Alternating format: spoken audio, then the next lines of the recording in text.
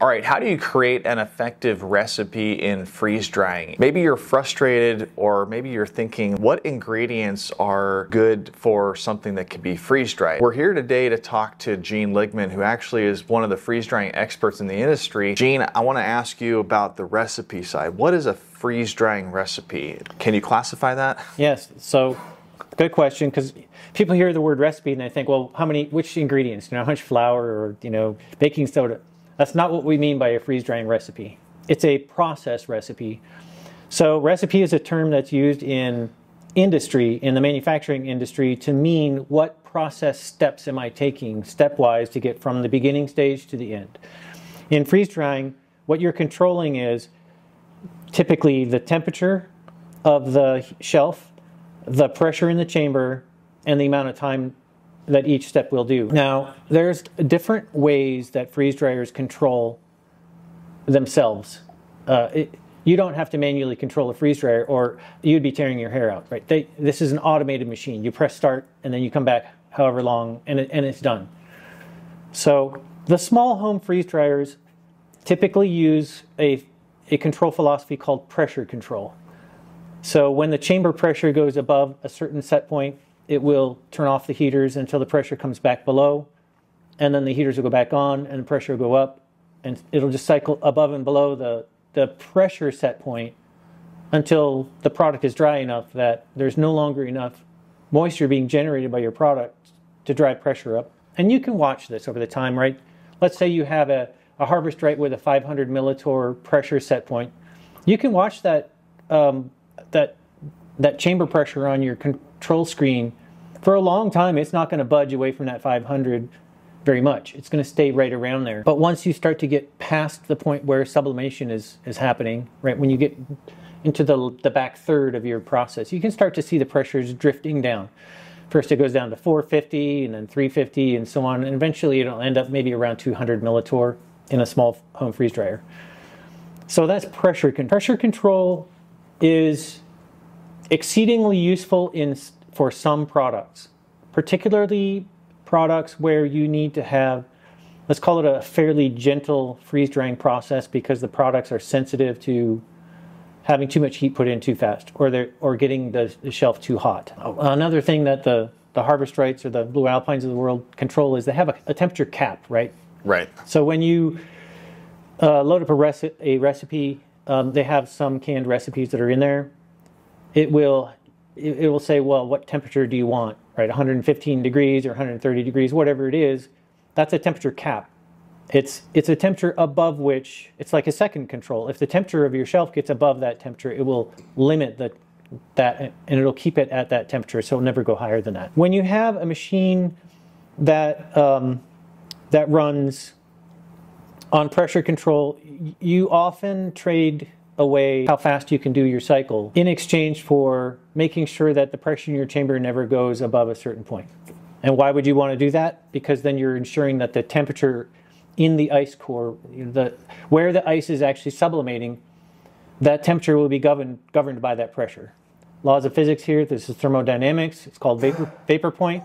Vapor point or vapor pressure is simply the pressure at which something will turn into a vapor. That's what's happening in your freeze dryer. When you control the pressure, you're controlling the temperature via that vapor point. A second way of controlling a freeze dryer, which is used mostly in most of the um, commercial freeze dryers, is by controlling the temperature of the shelves as opposed to controlling by the pressure in your chamber. This is a way that has more control. If I have a commercial freeze dryer that's got 500 baking trays of product in it, if I'm controlling, uh, you, you can't have all those baking trays be uniformly loaded, nor can you have all the heat distribution in your, in your chamber be uniformly distributed.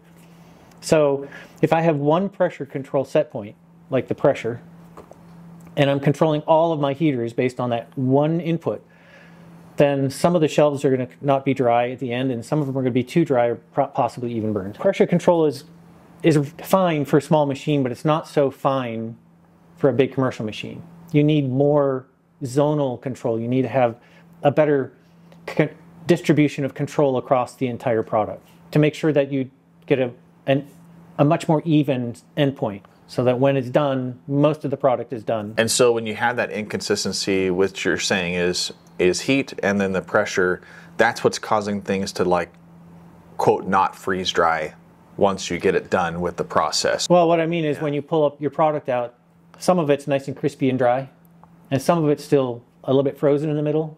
Right? So the part that's still frozen in the middle or not quite dry, you can tell it's just limp or it's it's not it's kind of a little bit soft or chewy or whatever. Yeah. That means it needed longer. So and and your product doesn't switch. It's not like a light switch. It goes from wet to dry. It smears from wet to dry, right? Across a, a, a, a period of time. Yeah. Some trays are going to get dry first, and then they're going to continue to sit there and bake and bake and bake, while the ma- vast majority, it's like bell curve, right? The vast majority of your product then gets dry, Yeah. and then you're going to have a bunch of trays, you know, on the outliers of that bell curve that are still wet.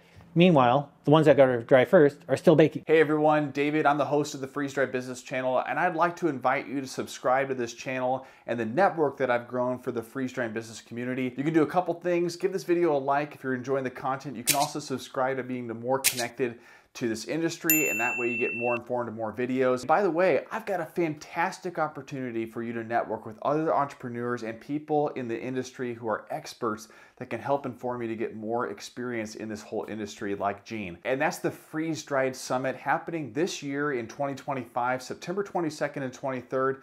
I hope to have more and more events like this. If you want to learn more or purchase your ticket to the Freeze Dried Summit, go to the video description right now and you'll go to freezedriedsummit.com and find all the details. I hope to see you there. With a lot of people having home freeze dryers, is a home freeze dryer the best place to to get a recipe down, meaning those different steps in the freeze drying process to kind of nail that down? You can't control the home freeze dryer. You, the only thing you can do is, is load up recipes that have already been basically built in. This is actually the limit, one of the big limiting factors on the difference between a home freeze dryer and a commercial freeze dryer. You can you can control every aspect of that process recipe that goes from the beginning to the end by controlling the temperature of your shelves or setting pressure limits or whatever. You can do that in a commercial freeze dryer, which is very necessary for a larger quantity. Yeah. You can't do that in a small one. You've, So- you've got like a, a, a candy recipe and a fruit recipe and a meat recipe, and they follow a certain way. But look, when you're in commercial production, time is money. The amount of time that you waste trying to get your product completely dry as opposed to mostly dry, that extra few hours that you tack on to the end just so you can be sure, that's fine at home in a little freeze dryer. But when you're doing that at commercial scale, uh, one hour extra on a, on a big commercial machine per day, per, per cycle, is going to cost you a quarter million dollars in, in lost profits that year. So an hour is not just something you tack on willy nilly in a commercial machine. You need to try to tweak your recipe so that you're getting your cycle dry as quickly as possible in as uniform a manner as possible in in order to capture the margins, right? Right. If, if you don't do it right, you're going to be a margin challenged business. Yeah, so I'm thinking of if I if my recipe is whole strawberries versus sliced strawberries. Right. That's a different process and Yeah. extracting a lot more density of those that water in that whole strawberry versus a sliced at, at thin. Right. So that's why I'm seeing inconsistencies with my home freeze dryer. You would say. That's Is- right. Okay. And strawberries are different than apples. And they're all different than blueberries or plums or anything anything that's got a skin on it, like a, a nice shiny skin, you better be cutting that in half because you're not going to get a lot of moisture that goes across that boundary. That's the whole point of that skin, is to Yeah. keep the moisture in while the fruit is uh, is on the vine. The difference between one and a fruit and another can can be a big difference. If you're doing apples, it's fairly straightforward in say a home freeze dryer because that's kind of what the, that recipe's built for is apples or strawberries. But if you're doing mangoes, like ripe mangoes, you're going to have a challenge. Um, it'll freeze dry your mango for you, but instead of taking 24 hours ish, it might take 48 hours. And why is that? Why is that? You're probably going to have to tweak your freeze dryer to up to be even gentler. But mango is denser, so it has a little bit less water, but it also has more sugar. So the higher the sugar content in the water, the lower the freezing point. It's like when you throw salt on your on your sidewalk to melt the ice in the wintertime. Well, guess what? You're lowering the freezing point of that water. lower freezing points in your product makes it harder to freeze dry. Because as soon as you get close to or at what's that triple point, that point where the water freezes, where Yeah. it's vaporizing from ice directly to vapor, sublimation, if you get above that point, it melts. And if the if the ice melts in your product while you're freeze drying it, it's called meltback in the, in the industry. It causes shriveling and collapsing and chewy food, and, and, and you'll never get what you want. So, So, you, you have to change your, your recipe. so an example of that would be um, pineapple then, Yeah, because that has a, a lower freezing point yeah, because of all the sugar that's in that natural uh, pineapple. yep, So you have to tweak that recipe. That's why my pineapple takes a long time to freeze dry. yeah, yeah. That's right. And and ice cream is even worse, right? Ice cream is mostly fat and sugar, and not that much water. It's, you'll actually have a better time freeze drying ice milk, right? With this ice cream that's not made with cream, it's made with milk because it has a higher water content. So you'll actually get a better and easier freeze dry. Yeah. It's not necessarily going to be as tasty because I mean everyone knows that cream is really tasty stuff. So if you dilute it, you're going to dilute it. But So expanding on recipes, are there things that can't be freeze dried? anything that doesn't have a sufficient quantity of moisture to begin with, like chocolate, right? There's not that much moisture in chocolate. There's some, but not, not much. It's mostly fat and solids and sugars. It's not going to freeze dry. Um, it'll melt and it might foam up like crazy, you know, because when you draw a vacuum on something, there's a lot of air or gas bubbles that are incorporated into it that you don't even know. And if, and if you don't believe me, mix up some uh, epoxy at, at some point, then stick it in your chamber and draw it in a vacuum. And, and as soon as you get to about 20 torr, you'll start to see all these bubbles come out. You, the giant bubbles that you're like, where'd that come from? Well, it, those were incorporated into the Yeah. epoxy. The same thing with your food. It has air in it. The difference between doing a strawberry and a strawberry slurry is a different recipe. Because when you make it into a slurry, you have different things to consider. It changes the way the, the water comes out, and you're actually adding air. So you can actually have your slurry blow up into foam in Yeah. your system too. So if you want, why would you want to freeze dried chocolate? If you wanted to experiment with it, is there any application to it? So, sure. I mean, because it's going to change the texture.